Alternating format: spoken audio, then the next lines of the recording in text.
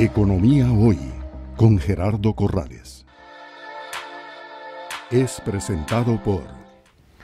A la diferencia entre el margen de intermediación y el gasto para estimación para incobrables, lo llamamos el margen financiero neto, es la utilidad neta de la intermediación financiera. Y luego los bancos, aparte de la colocación crediticia, tienen otro negocio que es brindarle servicios al público, servicios como eh, cartas de crédito, medios de pago a nivel internacional, servicios como garantías de participación y cumplimiento, eh, servicios como los ingresos por la compra-venta de monedas que realizan eh, los bancos, recaudaciones de impuestos, agua, luz, teléfonos, fideicomisos, ahí se ganan comisiones por servicios, que es este rubro que ustedes ven ahí. Luego tenemos otro rubro que de acuerdo con el catálogo de la SUGEF se denomina otros ingresos de operación netos, que es una diferencia entre otros ingresos eh, que básicamente eh, provienen por ganancias en valoración de inversiones o ganancias por instrumentos financieros que se llama derivados y eh, otros gastos operativos que tienen que ver básicamente con otro pago de impuestos, por ejemplo, los impuestos que se pagan sobre los intereses, 15% de impuestos sobre los intereses, o impuestos que se pagan sobre las remesas que se hagan al exterior. Eh, de igual manera, en esta línea se registran ya sea los ingresos o gastos que se obtienen por la venta de bienes recibidos en dación en pago, por malos créditos, si hay ganancias es un ingreso, o más bien si hay pérdidas o gastos en el mantenimiento de estos bienes eh, se registran acá en estos rubros y también tenemos aquí eh, otros ingresos o gastos, eh, básicamente gastos relacionados con otras provisiones que se hacen por riesgos de carácter operativo. A la diferencia entre el margen financiero neto más los ingresos por servicios más otros ingresos de operación, lo llamamos la utilidad o el resultado bruto que tiene el banco.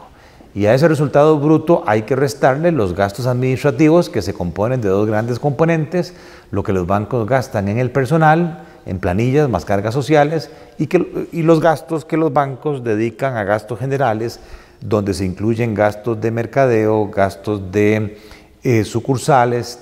gastos de alquileres, eh, depreciación, eh, mantenimiento, papelería, equipo de oficina, etc.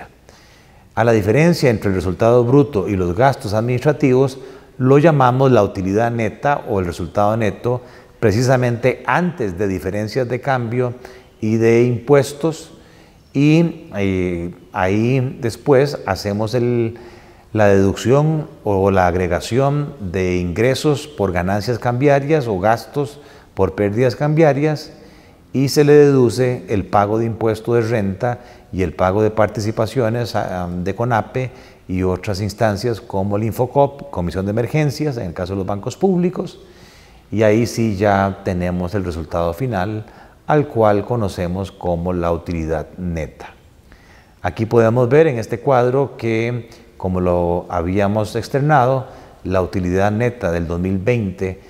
para el cuatrimestre de febrero a mayo, en el caso de la banca estatal, eh, fue de 22.305 millones y que se cayó 13.774 millones, un 38% respecto al año pasado.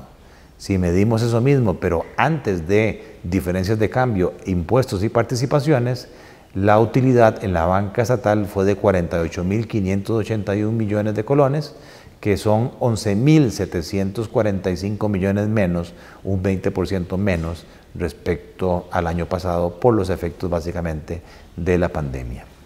Si hacemos el mismo análisis para la banca privada, vemos que la utilidad neta ascendió a 32.029 millones de colones, que supera en un casi 20% la utilidad del año pasado, pero vean que la explicación de esto es porque en el año 2020 eh, hemos tenido algún grado de devaluación que le genera un ingreso eh, favorable a eh, los bancos privados por su patrimonio que está en moneda extranjera,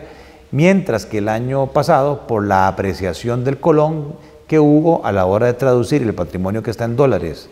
a la contabilidad en colones, eh, tenemos una pérdida cambiaria de 27 mil millones, cosa que este año no pasó y por eso se ve un ahorro de 31 mil millones de colones.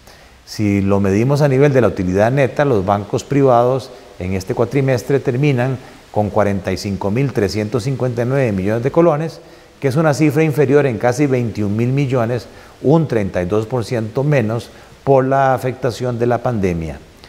Cuando sumamos el resultado de banca estatal, banca privada, vemos que la afectación en utilidad neta es de 32.662 millones, una caída del 26%, que si lo medimos en el resultado final de utilidad neta, pues la afectación no es tan severa, es de un 14% menos, que significan 6.725 millones de colones menos.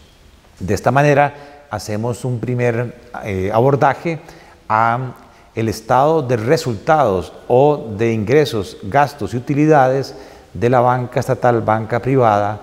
eh, en comparación el cuatrimestre en pandemia de febrero, mayo de este año, comparado con el mismo cuatrimestre del año pasado para ver el grado de afectación que está teniendo el COVID en los resultados del sistema bancario. Gracias por estar con nosotros en un nuevo programa de Economía Hoy, democratizando la educación financiera es presentado por Economía Hoy, democratizando la educación financiera.